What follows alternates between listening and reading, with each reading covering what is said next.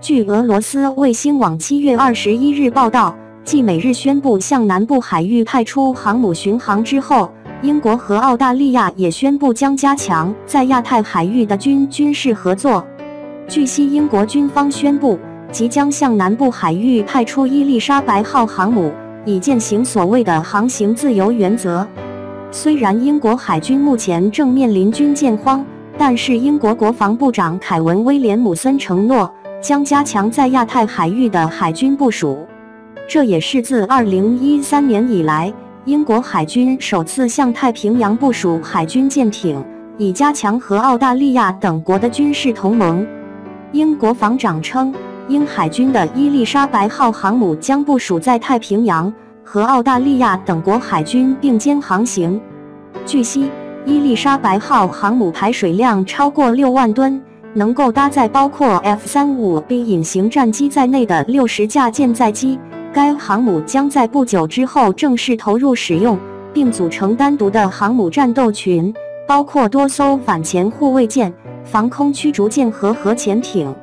英军表示，希望能够和地区各国进行合作。共同维护南部海域的海上安全。据统计，每年大约有三点四万亿美元的货物从该海域通过，是全球最重要的海上通道。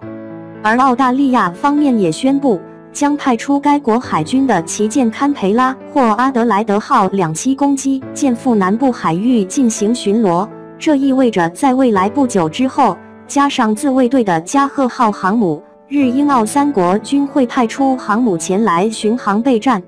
实际上，在此之前，美军里根号航母战斗群已经多次现身南部海域，而日英澳三国此举也是在响应美军的号召。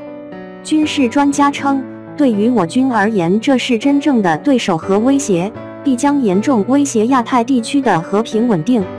英国海军此次要派出的伊丽莎白号航母。号称是全球战斗力第二的先进航母，该航母满载排水量六万五千吨，超过辽宁舰和零零二型航母的吨位，长度为两百八十米，宽度为七十三米，可以携带六十架各种舰载机，并且应用了先进的全电推进技术。该级航母一共有两艘，次舰威尔士亲王号航母也已经在二零一七年年底下水。